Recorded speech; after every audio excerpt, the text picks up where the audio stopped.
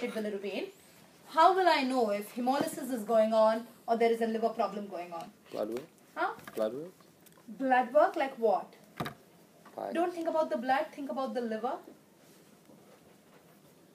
Do some kind of enzyme. Exactly, you will measure the other liver enzymes. Remember the list of four, the liver enzymes that I gave you, AST, ALT. You will measure those enzymes. If there is a problem with those enzymes, it means there's a problem within the liver. If those enzymes are normal and you still have a high unconjugated bilirubin, it means there's a problem going on with your blood. Does that make sense? Yeah. Yeah? So, let's talk about those enzymes. Everybody understands this? Yeah. Cause of high unconjugated bilirubin. Now let's talk cause of, and please uh, write how do you differentiate between hemolysis and liver problem. For liver problem, measure the other liver enzymes. If the levels of other liver enzymes are high, it means it's a liver problem. Are you guys understanding what I'm talking? Mm-hmm. Hello? Yeah. Yes. Yeah. Good.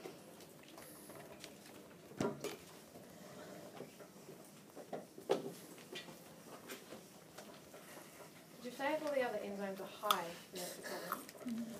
So we're just making more confidence, say? No, your cells are lysing, so releasing those enzymes. Again, the same logic as troponin. Now,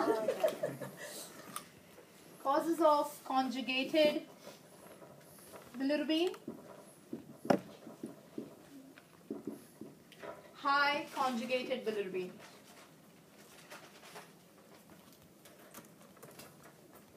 Going back to our favorite bile ducts, intrahepatic bile ducts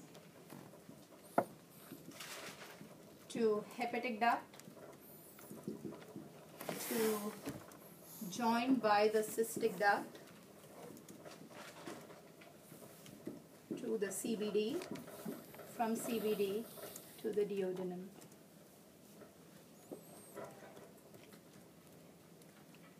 Yes? Mm-hmm. Going back again to the one statement that I made before, conjugated bilirubin is soluble. Okay? Now, when will you see high conjugated bilirubin or high direct bilirubin in someone? Where there will be an obstruction to the secretion of the bilirubin in its normal pathway. So either you're causing obstruction within the intrahepatic bile duct or obstruction either in the hepatic duct or in the CBD or somewhere in that tract. Obstruction to the excretion of bilirubin from the intrahepatic bile ducts to the duodenum will result in what? Can I say there is going to be high conjugated bilirubin back? Let's say there's an obstruction in the CBD. So can I say there will be accumulation of the bilirubin in all these structures above the CBD? Mm-hmm. Yes. What's going to happen because of that build up? Build up of bilirubin within this, which means there will be increased pressure of conjugated bilirubin within those ducts, right? And that will cause exudation of conjugated bilirubin from within the ducts into your blood. And did I say bilirubin, conjugated bilirubin is soluble, so it will easily mix up with the blood. Does that make sense? So that build up, that back pressure that develops results in bilirubin seeping out through the cells, going into your blood. Okay, now tell me what everybody understands this? What can cause increased conjugated bilirubin now? Anything that can cause obstruction. What can cause an obstruction to your common bile duct or a hepatic duct? Gallstones. Beautiful answer. Gallstones. How do gallstones present? Any has anybody had gallstones here? No. Well, you should have. How do gallstones present? They're going to come up as uh, pain uh, after meals, especially after fatty meals. Located here. Why? Because the gallstone is here. Okay, radiating to the back. So extreme episodes of pain happening after meals and radiating to the back Okay, and they're going to be intermittent pain. So it doesn't mean that the pain is going to be present constantly. The patient is going to have these, this pain feature like this. So it's really painful. It's Exactly. So when the pain begins, it starts, it hits absolutely high pitch and then comes back to normal.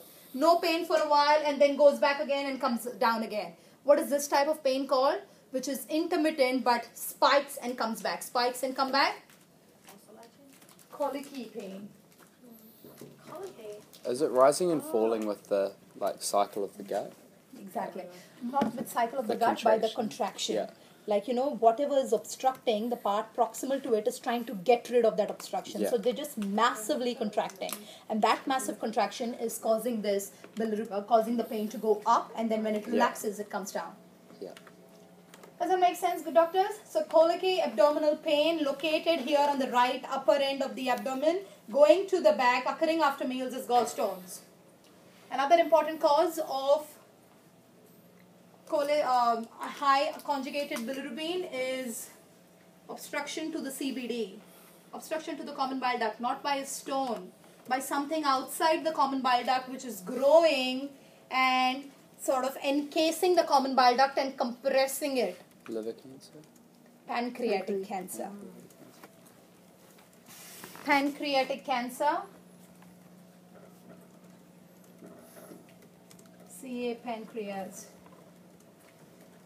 What's the um suffix for cancer? What do you mean? Like the end of the word? Sorry, is it like is it Carcinoma. oma? Oma, yeah. Yeah. that's okay. So it would be CA pancreas is carcinoma of the pancreas. Or, yeah. Okay, or we can also call it pancreatic adenocarcinoma. So the OMA fits in. Okay. So CA pancreas and gallstones. Now, hello, can I say in all of these scenarios there is going to be obstruction to the movement of bile, stasis to the movement of bilirubin, mm-hmm. cholestasis is what we call it. So we say oh. gallstones and CA pancreas are all causes of cholestasis. Whenever bilirubin increases in the body, we say the person has jaundice. So gallstones and CA pancreas are causes of cholestatic jaundice. Yes, I can repeat that. Cholestasis is nothing but stasis, obstruction to the movement of bile. Okay? Whenever bilirubin increases in the body, we say the person is jaundiced. So, gallstones and CA pancreas are causes of cholestatic jaundice. So stasis just means still. Is that what? Exactly. Yeah. and colour as well. Will they always give us a reference range, like the normal range? They should, if they've not, normal bilirubin, like total bilirubin, is 0.1 to 1. 0.1 to 1 milligrams per deciliter. And direct bilirubin is always higher than indirect. That's normal. So if a person has elevated bilirubin, you then have to check whether it is indirect bilirubin which is high or direct bilirubin which is high. Does this make sense to everyone? Yeah. So was it direct that was higher? In this scenario, direct will be higher. Yeah, but in a normal Direct will be higher than indirect because the liver is constantly trying to get rid of the indirect bilirubin because it's toxic. Are we good with this concept? Mm-hmm. Yes? Now, please remember. Now let's go back. Everybody's understood conjugated, unconjugated bilirubin, causes of unconjugated, causes of conjugated. Now let's talk about the liver enzymes, the last thing for the day.